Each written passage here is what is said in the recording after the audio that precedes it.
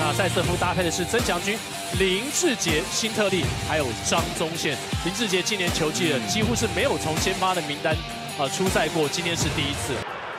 卡米诺斯教练被吹了技术犯规，所以现在林志杰要来执行这次技术犯规的罚球。野兽的第一分，辛特利，带给小夫，又转移到志杰的手上，切入到禁区，哨音响了。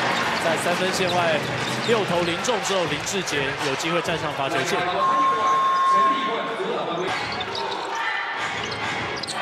中线还在线上出手弹两下，被志杰给争取到机会。这样子太早跳了。对。这几波的进攻，富邦有不少的二波机会。哇！野兽切入 M one，还要到卢俊祥一个拉手犯规。哇！志杰来了。大家可以看一下重播，你还有他的肩膀去骗人哦。哦，他先一个变速，然后有一个 inside 的动作，切入上篮造成犯规，给联盟的未来之星上了一课。这边是野兽想过第一步没那么容易，但对方的协防却赔上了犯规。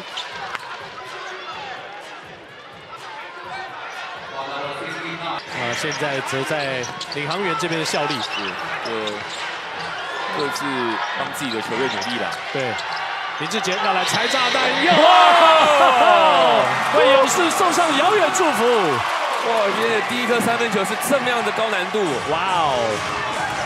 我跟你讲，其实基本上我们已经没有再输了，不管是拉拉队啊，或者是场中间的一些小游戏，都会让球迷更有这个参与感。对，哎，更要有参与感的话，就是要野兽跳出来啊！开始了，开始了。好，现在换林志杰要来打小白吗？野兽给小夫，三分线外，插进，所有的运气都站在勇士队这边了。他最喜欢这种不好的机会出手，而且压力越大他越稳。六九这个球明显的投偏，志杰，哎呦，整个跳到看板上把球救回来。碰碰再扛，double team，给到林志杰三分线外两步的距离，背，为富邦勇士送上遥远祝福。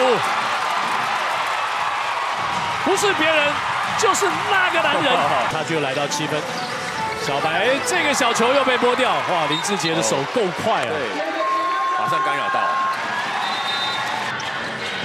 志杰掩护，切到禁区，这个小球给到文成，没有空间了。赛后我们呃访问呢就要来问志杰，志杰这场比赛打先发，然后得到了十七分，来谈谈这场比赛你的改变吧。呃，我觉得可能。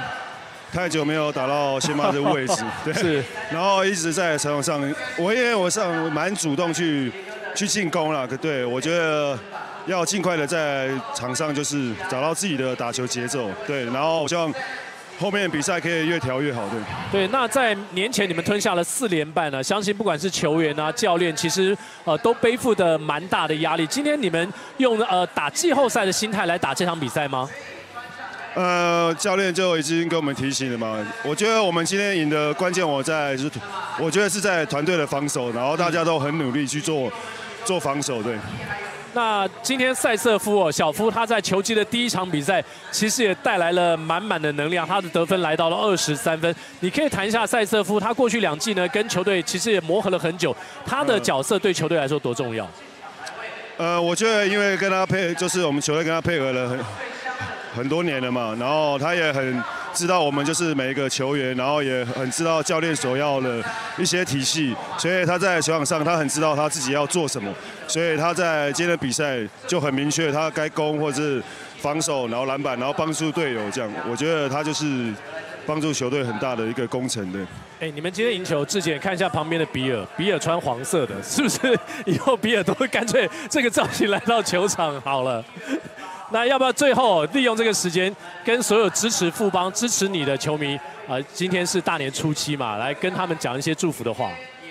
呃，就是谢谢你们对勇士的，就是支持吧。然后虽然我们在连败，然后你们还是一样很支持我们。然后希望后面的比赛你们还是可以继续到场或者是看电视来支持支持勇士。然后在这里祝你们新年快乐。对，好，非常恭喜志杰，也恭喜富邦勇士终止了他们最近的四连败，拿下这场非常重要的胜利，也回到了五成的胜率。